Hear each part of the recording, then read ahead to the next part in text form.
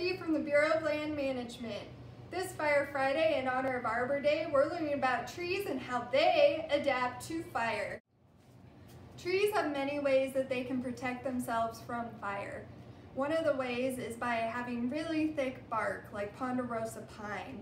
And by having that thick bark, it protects their phloem and cambium from surface fires, but it still doesn't protect them from a crown fire.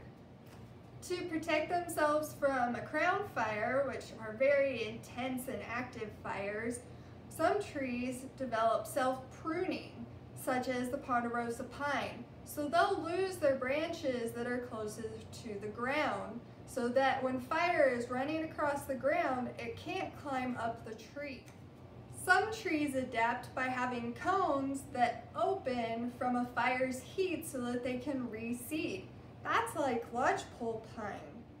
Other ways trees can adapt is by having their roots really deep down in the ground so that fire doesn't impact them. Or they can grow really fast and recover quickly after a fire. Some trees like aspen really like when fire comes through and disturbs its habitat because it restarts its growth hormone and begins to resprout again and grow very quickly.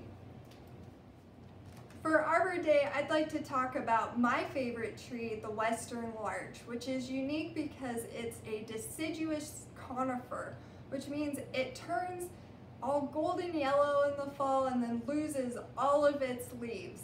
Now this unique tree also has many fire adaptations and we're lucky enough to see it in Idaho. Larger, extremely tall trees and can reach 200 feet. And with that, they have the self-pruning fire adaptation so that fire cannot climb up to its crown, to its top. Along with that, it also can have very thick bark. When it's at 100 years old, its bark can even be 18 inches thick, definitely protecting it from any surface fires coming through. It also has its roots very deep into the ground, so it will not feel the heat from an intense surface fire.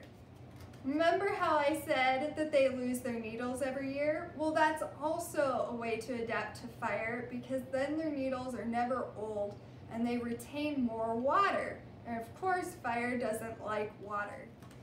Often larch are the only trees remaining after a large fire. And that's because of those fire adaptations like the thick bark and deep roots and self-pruning.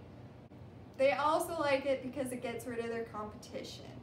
If there are too many other trees in the area, then they will be shaded out and can't survive.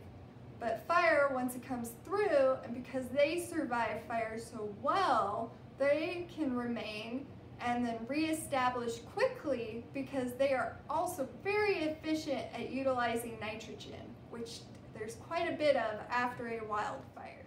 I challenge all of you this Arbor Day to look up what fire adaptations your favorite tree has. Trees are so interesting and fire is such a unique player in our ecosystem, but it is a harmonious relationship. So happy Arbor Day, everyone.